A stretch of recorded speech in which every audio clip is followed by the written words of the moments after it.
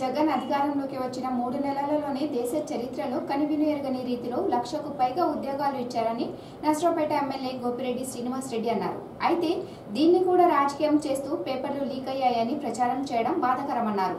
దీన్ని తీవ్రంగా ఖండిస్తున్నానని చెప్పారు. పారదర్శకంగా ఇంత వేగవంతంగా అధికారులు పనిచేస్తే దీన్ని కూడా వక్రీకరించడం సరికాదన్నారు. నిజంగా పేపర్ లీక్ అయితే పరీక్ష జరిగే సమయంలో ఎందుకు బయట పెట్టలేదని ఆయన ప్రశ్నించారు. ఈ రాష్ట్రంలో కని విని ఎరుగుల రీతిలో వచ్చిన మూడు నెలల్లోనే లక్ష ఇరవై ఏడు వేల సచివాలయ ఉద్యోగాలు ఇవ్వటం. బహుశా ఎప్పుడు కూడా ఈ దేశ చరిత్రలోనే ఎప్పుడు కూడా జరగని అంశం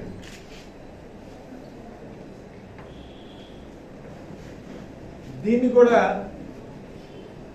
రాజకీయం చేస్తూ పేపర్ లీక్ అయ్యాయి. ఏపీపీఎస్సిలో ఉద్యోగస్తుల యొక్క కుటుంబ సభ్యులకి కొంతమందికి ఉద్యోగాలు వచ్చాయి అని ఈరోజు ప్రచారం చేయటం అనేది నిజంగా బాధగా దీన్ని తీవ్రంగా ఖండిస్తుంది ఈరోజు మీరు గమనిస్తే జూలై ఇరవై ఆరో తారీఖున నోటిఫికేషన్ ఇవ్వడం జరిగింది ఈ పరీక్షల కోసం. సెప్టెంబర్ ఒకటో తారీఖు నుంచి ఎనిమిదో తారీఖు ఎగ్జామ్స్ అయితే పది రోజుల్లో రిజల్ట్ ఇవ్వడం. పది రోజులు.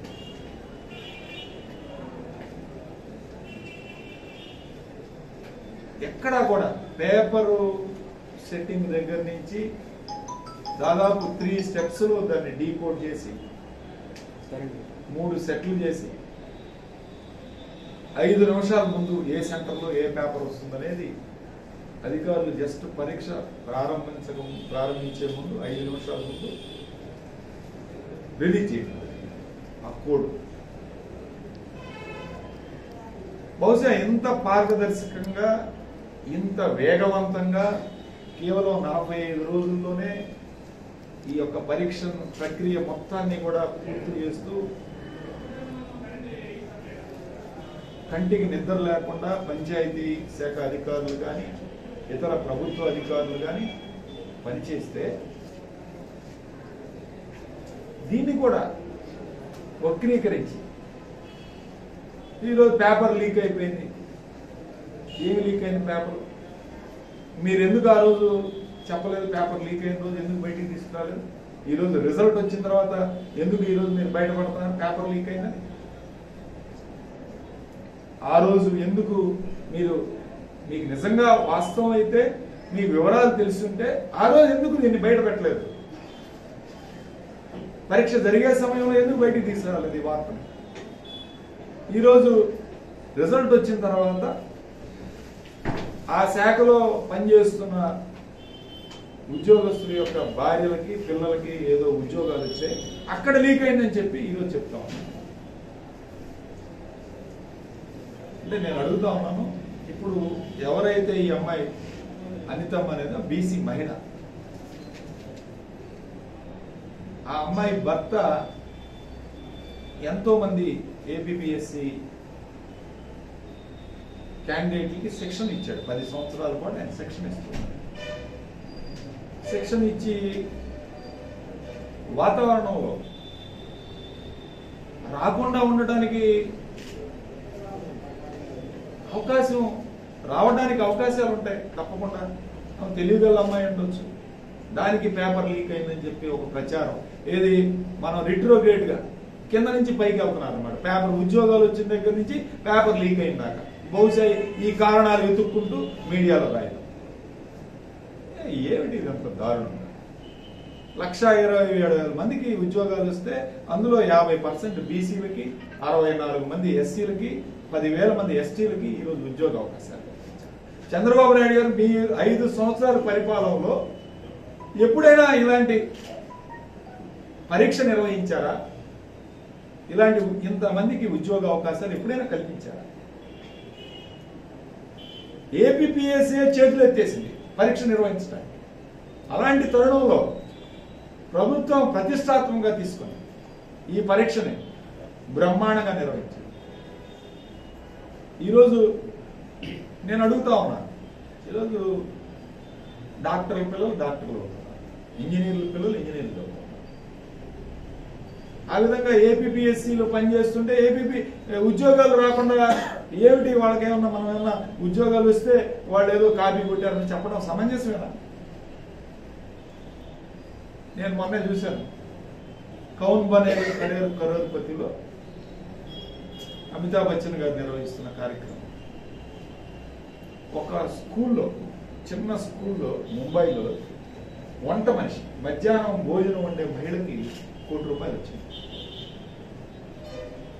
ఆమె చదువుకోలేదు. నిజంగా ఆశ్చర్యకరమైన విషయం ఏంటంటే ఆమె చాలా టెన్త్ క్లాస్ వరకే చదివి ఆపేది అలాంటి మహిళకి ఆమె సమాధానం చెప్పే రీతి కూడా చూస్తే చాలా ఆశ్చర్యకరం నిజంగా. అది మన యొక్క గ్రాస్పింగ్లో ఉండొచ్చు మేధావితనం ఉండొచ్చు తెలివితేటలు ఉండొచ్చు. దానివల్ల ఉద్యోగాలు సాధించుకుని ఉండొచ్చు. దాన్ని అంత మాత్రాన మనం ఏదో కాపీ కొట్టారని ఏ విధంగా మీ నిర్ధారణ వస్తుంది? చెప్పండి. ఏమన్నా మీకు సాక్ష్యాలు ఉంటే రిలీజ్ చేయండి. ఊరక పేపర్లో కథనాలు రాస్తే సరిపోద్దా? టీవీలో మీడియాలో ఇస్తే సరిపోద్దా? సాక్ష్యాలు ఉంటే చూపించండి. దీన్ని పనిగట్టుకొని ఓ ప్రచారంగా భావించి చంద్రబాబు నాయుడు గారు ప్రతి నియోజకవర్గంలో ప్రెస్ మీట్లు కండక్ట్ చేయించి ప్రభుత్వం మీద దుమ్మెత్తి పోసే కార్యక్రమాన్ని మానుకోవాలి. ఈ రాష్ట్ర చరిత్రలో లేదు ఇంతమందికి ఉద్యోగాలు ఇవ్వడం హర్షిస్తున్నారు ఈరోజు నిరుద్యోగులు ఎంతమంది ఉన్నారు ఈ రాష్ట్రంలో? వాళ్ళందరికీ ఉద్యోగ అవకాశాలు కల్పిస్తూ ఈరోజు ఎలక్ట్రిసిటీ బోర్డులో కానీ బ్రేవరేజ్ కార్పొరేషన్లో కానీ వాలంటీర్లు కానీ దాదాపు నాలుగు లక్షల మందికి రాష్ట్రంలో నిరుద్యోగులకు ఈరోజు అవకాశం కల్పించారు జగన్మోహన్ ప్రభుత్వం. అలాంటి దాంట్లో ఆనందించాల్సింది పోయి ఏ ప్రభుత్వం మీద బురదేయాలి ప్రతి ఒక్క సబ్జెక్ట్లో బురద వేయాలి. బురద పోసి వీళ్ళని అప్రతిష్ట పాలు చేయాలి. ఇది ఒక కార్యక్రమం ఈ ప్రతిపక్షానికి.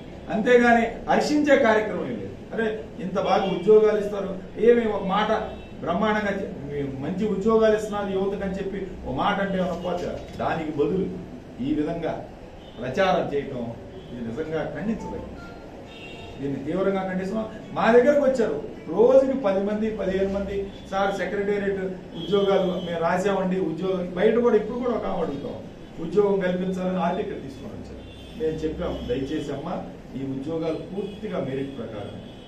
ఎవరికి ఎవరు ఎక్కడ రాశారు వాళ్ళ పేరు కూడా ఉండదు. డీకోడ్ చేశారు. త్రీ లెవెల్స్లో త్రీ స్టెప్స్లో డీకోడ్ చేయడం జరిగింది. అసలు జగన్మోహన్ రెడ్డి గారు మంత్రివర్గంలో చెప్పడం జరిగింది. తర్వాత కలెక్టర్లకు చెప్పడం జరిగింది. ఎక్కడా కూడా ఎటువంటి రికమెండెడ్ కొంతమంది ఏదో చెప్తా ఉన్నారంట బయట ప్రచారం. వాళ్ళకి ఉద్యోగ అవకాశాలు ఇచ్చారు ఇయ్యడం ఇవన్నీ వదంతులు. ఎవ్వరు కూడా నమ్మద్దు. దయచేసి ఇది పూర్తిగా మెరిట్ ప్రకారం జరుగుతున్న ప్రక్రియ. దీనిలో ఎవరి ప్రమేయం లేదు. ఖచ్చితంగా ఇది చాలా పారదర్శకంగా నిర్వహించారు. ఈ పరీక్ష నిర్వహించిన స్థాయి కానీ పరీక్ష నిర్వహించిన తీరు కానీ అందరూ కూడా ప్రశంసించారు. దీనిలో ఏమాత్రం అనుమానం లేదు. కేవలం కొంతమంది గిట్టని వ్యక్తులు ప్రభుత్వం మీద దుష్ప్రచారం చేయడానికి చేసిన కార్యక్రమం తప్ప వేరే కార్యక్రమం కాదని చెప్పి ఈ సందర్భంగా తెలియజేస్తారు అదేవిధంగా ఈరోజు రివర్స్ స్టాండ్